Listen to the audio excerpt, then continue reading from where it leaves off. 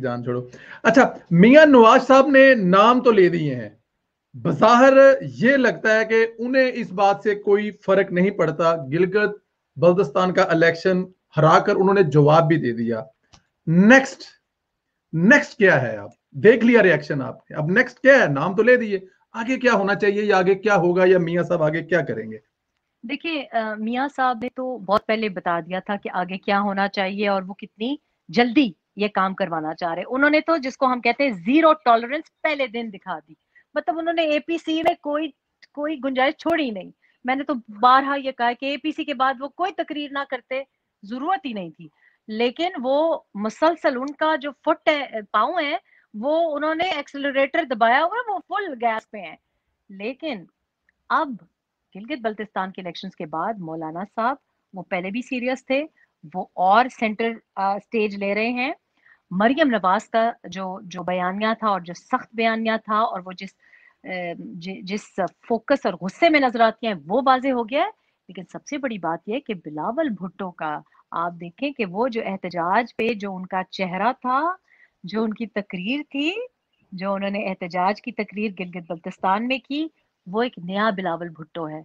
No और ये उन्होंने इंतहाई बेवकूफाना हरकत उधर गिलगित बल्तिस्तान में कर दी। और मैं बड़ी खुश हूँ क्योंकि अब हर एक का ज़ीरो टॉलरेंस होगा। और 22 नवंबर से पहले पहले, पिशावर के जलसे से पहले पहले कुछ हदफ पूरे करने होंगे। और उनमें मैं आपके प्रोग्राम पे साफ़ साफ़ बता देती हूँ कि जिन इस्तीफों की हम बात करें, उनमें से कम से कम एक इस्तीफा पहले हफ़्ते दिसंबर में आना चाहिए। और जो हम दूसरे एक सोशल मीडिया पे ये बात चल रही है कि जनाब वो तो जो पापा जॉन्स के साथ रिलेटेड बात है कि वो तो साहब मुल्क में नहीं है और कुछ इस्तीफों की भी बात चल रही थी। पहली बात यह है कि सी पैक अथॉरिटी का तो एक्चुअली उनका कॉन्ट्रैक्ट वो रिन्यू होना था नहीं हुआ। और जो असद उमर साहब जो आ, उनसे रहा नहीं गया उन्होंने ये अनाउंस कर दिया अनाउंसमेंट से पहले। बात यह है कि ये सिर्फ़ इस्तीफों की उनकी आसिम बाजवा के सिर्फ़ इस्तीफों की बात नहीं है। जब सियासतदान को जब जज की बीवी को जाके अपनी रसीदें दिखाई नहीं पड़ती हैं जब उनको चक्कर लगाने पड़ते हैं नैब हो अदलिया हो मीडिया ट्रायल हो वही चीज़ बाकियों को भी आ, उसके थ्रू जाना पड़ेगा। जब 22 महीने 23 महीने से हमजा शहबाज अंदर जेल में है पता नहीं क्यों है और जनाब एफआईए का केस एक दफ़ा अदलिया कह देती है जो अभी शहबाज शरीफ साहब का और उनकी जो शुगर मिल से जो रिलेटेड है वो भी आ, हटा दिया गया है। लेकिन अगर उनको अभी तक बाजियाब नहीं हुए हैं तो फिर ये स्पेशल ट्रीटमेंट क्यों हो जनरल आसम बाजवा के लिए? उनको भी सफाइयाँ जो देनी है वो जाके सिलेक्टेड को ना दें। प्रॉपर जुडिशल प्रोसेस हो इन्वेस्टिगेशन हो कमीशन बने।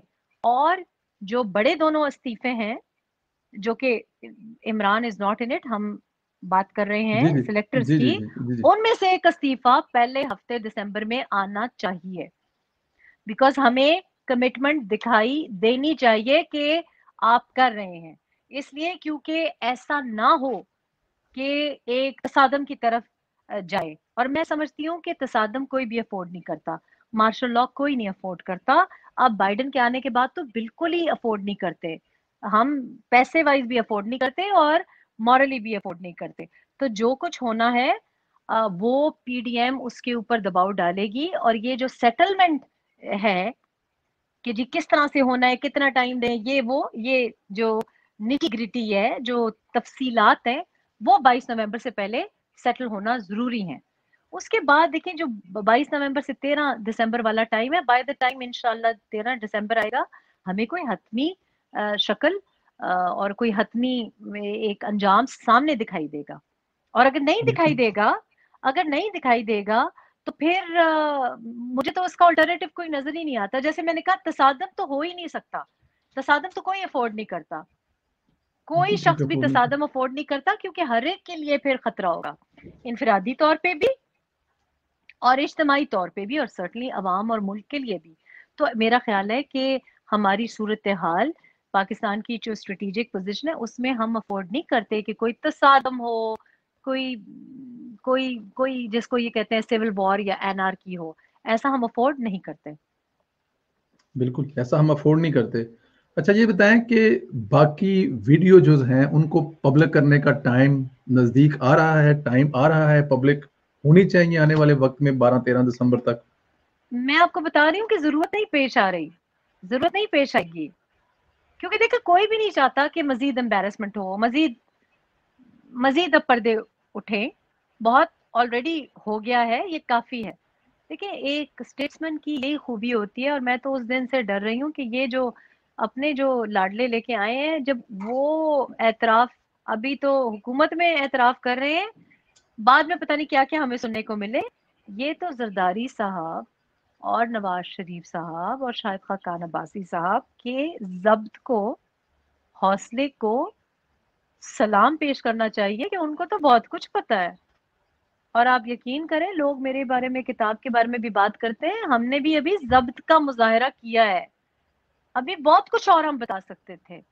लेकिन कुछ कुछ बातें आप इसलिए नहीं बताते क्योंकि वो मुल्क की मुस्तकबिल के लिए और मुल्क की बहबूद के लिए सही नहीं है। और स्टेट्समैन में और जाती मफाद के लिए जो खेल रहा होता है ये फ़र्क होता है कि वो